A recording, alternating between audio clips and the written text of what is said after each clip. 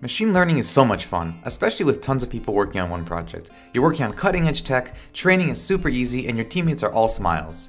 Yeah, I'm just kidding. Machine learning projects are. okay, seriously, unless you're flush with cash and got GPUs at your disposal, as well as a battle hardened team with years of experience, ML projects, especially collaborative ML projects, can be a major pain. This was an epiphany that I had not too long ago while working with a group of three for a university project. For our project, our goal was to fine tune a machine translation model so that it could do better at translating casual dialogue between two languages. None of us had a GPU, so we decided to use Google Drive to store our dataset and Colab notebooks to develop. Long story short, we finished the project, but by the end of it, we were at each other's throats. Constantly, throughout the project, we were rewriting code, having our training get interrupted, overwriting data, redoing each other's work, and generally trying not to snap our computers in half. After going through this experience, I couldn't help but wonder, why was this so messy? And more importantly, for your everyday ML practitioners, is there a better way to work on group projects? The answer to the last question is yes, and later in the video, I'll discuss a script that I wrote, as well as some research I've done to create the best ML group project setup. However, to answer the first question, some background is in order. Those of you who are proficient in coding and machine learning are probably familiar with what I'm about to talk about, so feel free to skip ahead using the timestamps below. Collaborating on code projects used to be quite challenging back in the day. Programmers would often share their code via means like email, flash drive, or floppy disk. As one can imagine, version control, aka the act of keeping everyone up to date on the same version of their code with the ability to roll back changes if need be, was a nightmare. In these times, programmers working on the same code files would constantly be overriding each other's changes. Enter Git, an open source version control system developed in 2005 that was built to address these exact problems. Nowadays, virtually all companies and group programming projects use Git. With Git, programmers just need to use a few commands and Git manages the rest. How it works is that for each project, Git represents one version of your code as a node in a chain or branch. When programmers update their code, they simply commit a new version, adding a new node to the branch. This structure makes it really easy to roll back to prior versions. Programmers can then push their local changes to a central code repository like GitHub, where their code would be merged with the branch in the online repository. Collaborators can then pull these changes and merge them into their own local branches, resolving conflict with relative ease. Machine learning projects, like other programming projects, can be version controlled with Git, but there's one caveat. Data. Oftentimes, ML or data science projects involve lots of experimentation, data analysis, visualization, etc. Loading data into memory could take minutes at a time, and training could take hours or even days. ML code can be run with traditional code compilers slash interpreters, but these will run all your code at once, and it can become really annoying to have to rerun your entire program when you're just trying to experiment with a tiny bit of code. Enter Jupyter Notebooks, which let users run individual cells of code, so now if you have to load gigabytes of data into memory, you only need to do that once. Notebooks also make life much easier for data analysis and presentations. So for ML group projects, we can just use notebooks and version control them with Git, right? Not quite. One problem. GPUs. Even simpler neural net models can take a really long time to train without access to GPUs, which can greatly parallelize all the matrix computations that take place during training. Not everyone is one of these bad boys, but even if you did, it might not be strong enough of a GPU for your task. And that's where services like Google Colaboratory come in. Colab for short. Colab is a cloud notebook that connects to your Google Drive, kind of like Google Docs, and makes sharing the same notebook really easy. Furthermore, you get access to Google's GPUs for free. Oh, and as another bonus, Colab easily connects with the files in your drive, making it a pretty popular choice for students. So what's the problem here? Oh, so many.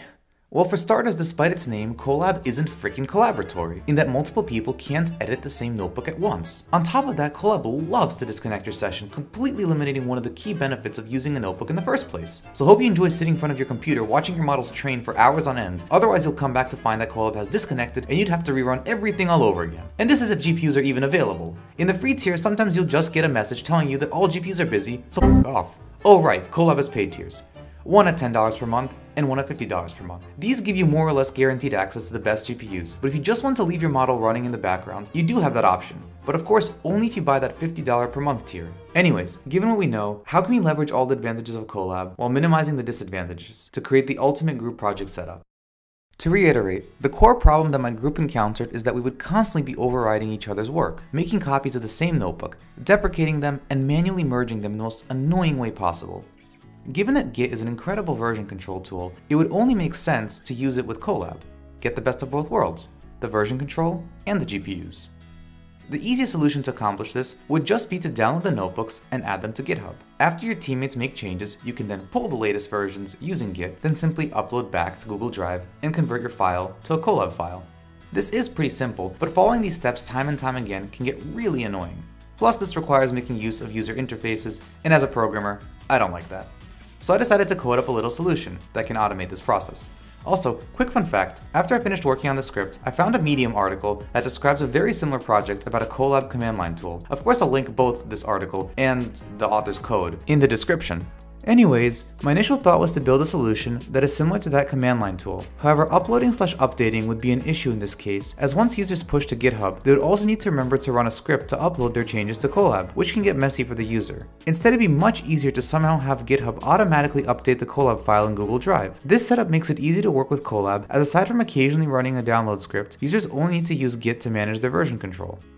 With this design in mind, it's time to write the code. I won't go into detail here, link will be in the description, but the key point I wanted to touch on is that I had to make heavy use of Google Drive's API to automate the whole uploading and downloading process. This means I had to create a new project in Google Cloud, add logic to handle authentication, call the API, and then create a helper Google Drive class that contains all this logic.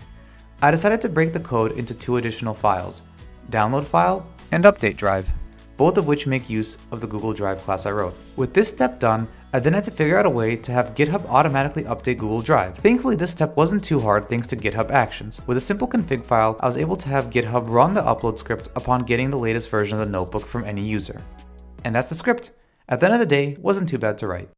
To show the effectiveness of this automated approach, here's a quick demo. Let's say you're in a group of two working on an ML project that requires training a large model and you thus need to use a GPU in your training. All your partner did was start the project and share it with you, leaving the rest up to you. First, you'd want to create a new GitHub repo and get it working with the scripts and config that I provided. Follow the instructions listed in the README of the GitHub library to get everything set up. Then, if you haven't already, run the download script to get the latest version of the Colab file as a Jupyter notebook. Now you can continue developing as needed, adding all the remaining logic. Once you're done, simply push to GitHub and watch as Colab will get automatically updated. Now you can train your model on your Colab notebook using the GPU. And that's it. If you want, you can always rerun the download script to get the version of the notebook that contains the output from the training. And all your other teammates need to do is a quick git pull of the repo to continue making changes locally on their computer. Again, feel free to check out the README for this project to follow these steps. We'll be happy to answer questions and get feedback in the comments. At the end of the day, I think I have a pretty good setup that while a bit of a pain to initially get started with, makes working on group projects really smooth using Google Colab. But of course this is all subjective. What's considered ideal to me can be pretty unappealing to others. There are also alternative competitor services to Google Colab, like Paperspace and Kaggle Notebooks. I haven't had too much time to use these myself, but there have been some great videos made discussing these alternatives, which you should definitely check out. Anyways, thank you so much for watching, and if you found any part of this video either helpful or entertaining, consider subscribing. I have some really exciting ML slash AI related videos on the horizon, so I hope to see you in the next one.